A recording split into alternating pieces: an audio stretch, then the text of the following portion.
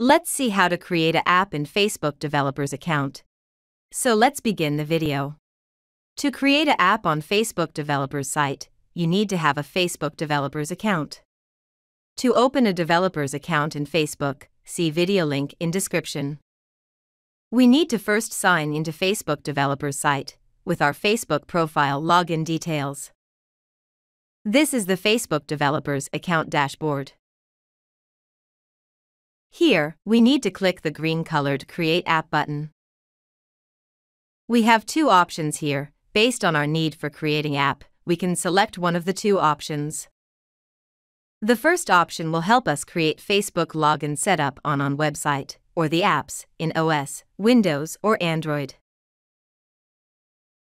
And now let's click the second option. Here we have the option of integrating the app with Facebook pages, Instagram, WhatsApp and more in the business type.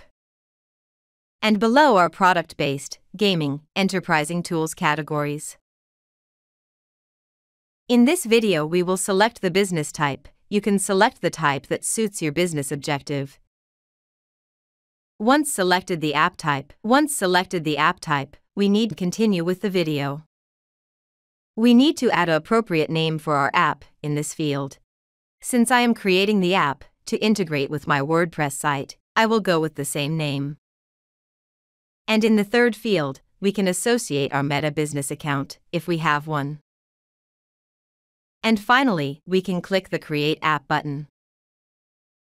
Before that we have to add in our Facebook login password and verify. And we are done with the app in developer site. This is the new app ID we created. Let's go look at other details in our app.